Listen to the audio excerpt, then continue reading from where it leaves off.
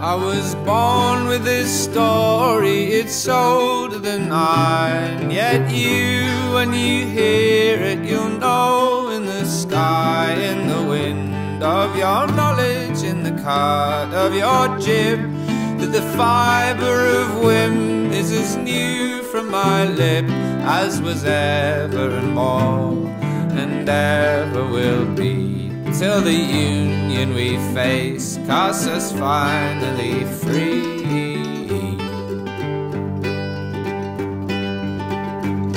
For we in the love of an earth bidden dance stand in thrall of that which from heaven perchance lets us move with the gifts we were given in grace and smile in the arms of sweet William.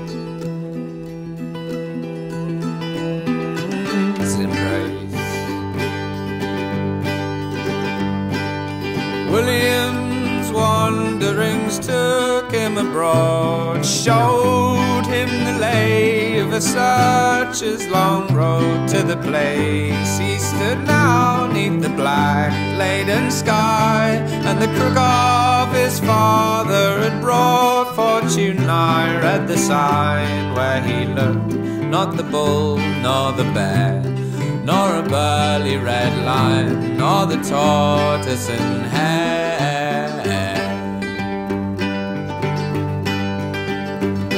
For we in the love of an earth dance stand in thrall of that which from heaven perchance lets us move with the gifts we were given in grace and smile in the arms of sweet William.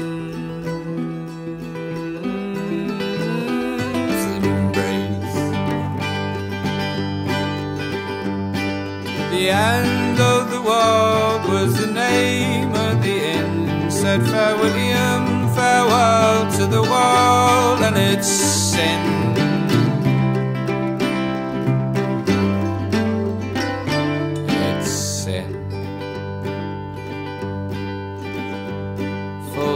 Balmy was the winter air, all wet with what might die. Wishing well the ocean bare, a mill pond in his eyes. A glance to see from whence he came for William with a landlocked turn.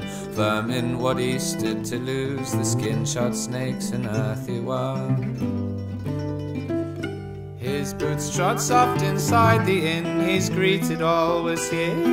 A brace of lowly nods came back, then bent toward their beer.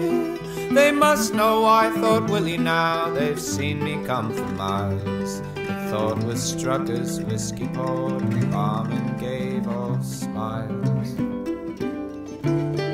Then followed this a curious thing, the eldest of the host sang softly where he sat and drank to love a worthy toast. His song was of a stranger summoned for his role.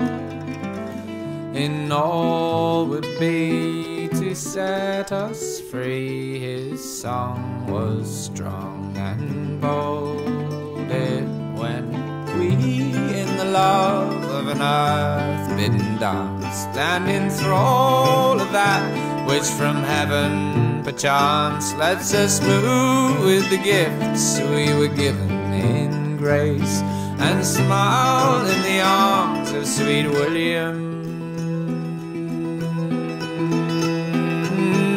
embrace.